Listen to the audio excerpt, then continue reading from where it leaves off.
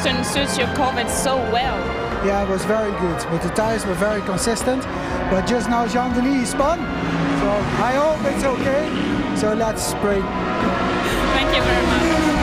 At least he's still smiling, and why wouldn't he? And uh, he's right, Délétraz has spun, but he's not coming back to the pits.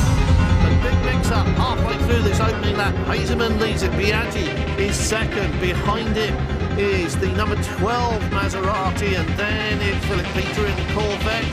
Uh, this is the race leader. This is Mike Hezemans in the Corvette. The Corvette behind him is in eighth place. Fox going past the Ferrari wants to join in, but Hezemans has made the pass in the corner. Oh, Bartels! Michael Bartels took the corner as if Mike Hezemans wasn't there, and they touched.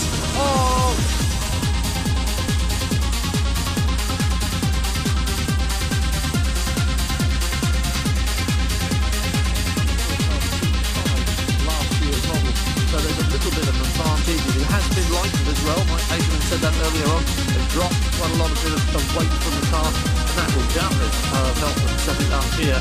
But uh, Corvette looking very strong as we head towards the end of a race that's on the very edge of being in contention when we get to the next round. Bertolini's moving up the order. Phones have conjured a win in the pit stop somehow or other. You don't see their hands move, but when they come to rest,